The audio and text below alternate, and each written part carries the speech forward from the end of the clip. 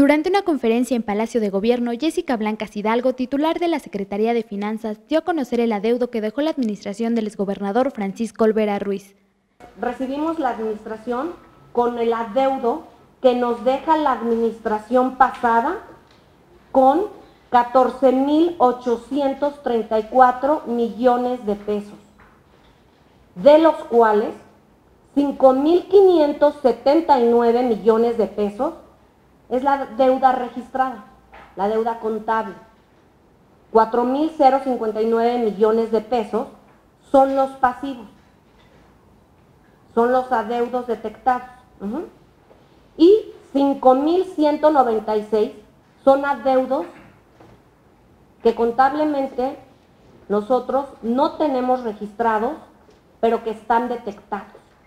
Entonces, repitiendo, esta administración recibe un adeudo que nos deja la administración pasada de 14.834 millones de pesos.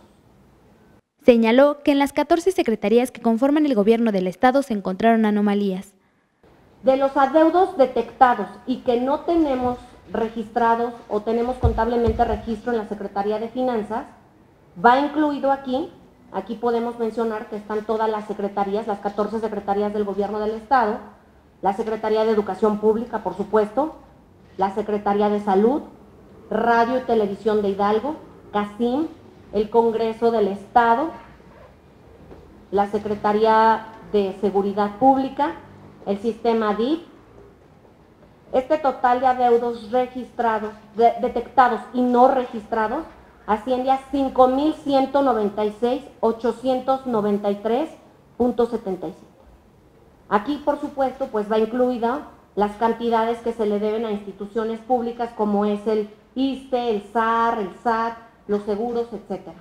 Se les preguntó si se tomarán medidas con algún funcionario de la administración pasada por adeudos no registrados, a lo que la Mancarranza respondió. Eh, lo que se está presentando es un diagnóstico, una conciliación de datos basada en evidencia administrativa.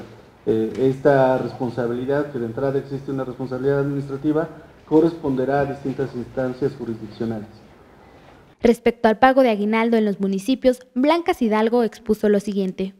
Eh, en cuestión de los aguinaldos, eh, como bien fue instrucción del señor gobernador, hay un, existe ya un convenio, desde la administración pasada, un convenio de colaboración con 81 municipios que en base a sus aportaciones municipales pues se les va descontando de ahí y eso es un ahorro para sus aguinaldos. De esos 81 municipios solamente tres no habían entrado a este convenio, han buscado al señor gobernador y bueno, estos tres municipios, los cuales son eh, Pachuca, Tizayuca y Tezontepec de Aldama, pues ya están tratando de incorporarse a este convenio de colaboración para que puedan eh, acceder a, los aguinaldos.